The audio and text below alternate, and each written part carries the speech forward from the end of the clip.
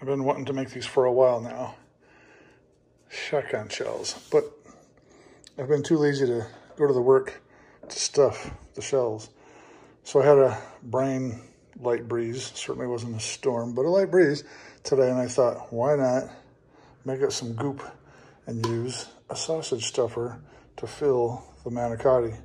So I parboiled these for 90 seconds. This is today I ground a bunch of brisket trim.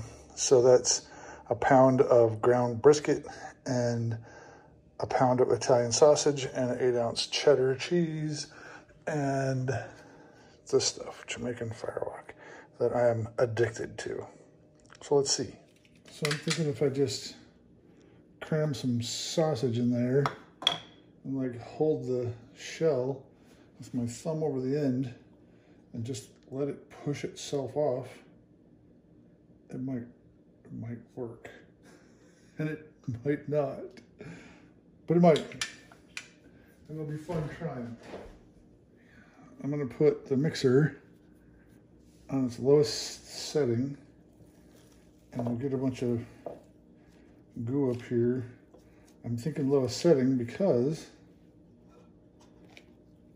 I think these are gonna happen really fast. If, if they happen at all. So let's start out slow and see what happens.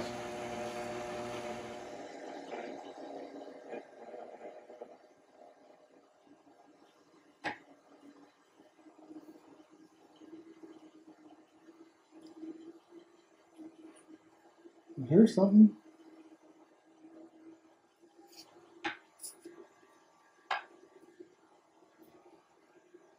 Noise is changing.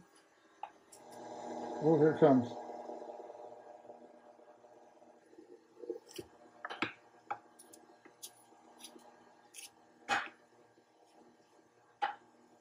You can feel it. Sound's coming.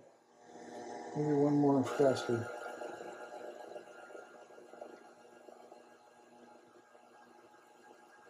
pushing the shell. So between putting pressure and a higher speed, right now I'm on six. It's doing a lot better.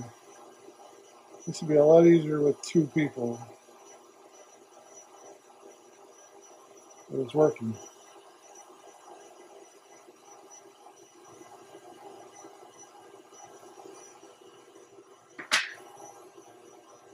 Woo. Okay, alright. Okay. It's kind of making a paste. So hopefully that's okay. I'm not sure what the texture is going to be like. But I think I'm going to try to cut stuff a couple of these by hand. Just to see what the difference is. Okay, here we go. These are the hand stuffed ones.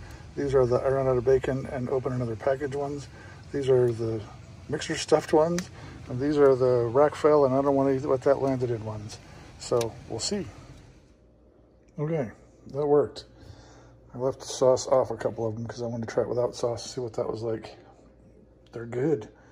Um, these are the two. This is the mixer stuffed. This is the hand stuffed. Um, I can't, there's no difference in taste. The only difference is I feel like this one seems more full and maybe a little more moist versus the hand stuffed. I think if I did it again, I might use the mixer again and I didn't think it would turn out like that. But it worked. Try the mixer.